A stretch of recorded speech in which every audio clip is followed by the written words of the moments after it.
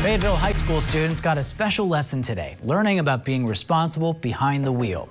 Now, J Hook Towing held that presentation on the dangers of texting and driving for students, and the company brought a truck to the high school that was involved with a head-on collision with a semi.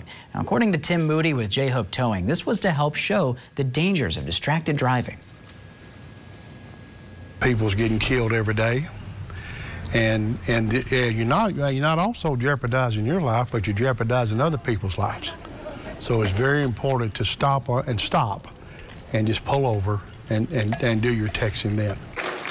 May seem like it's simple, but such an important message. The presentation also told students about the move over, or about to move over if you see red, blue, and amber flashing lights letting you know about law enforcement or emergency vehicles and moving to the furthest possible lane away from the vehicle.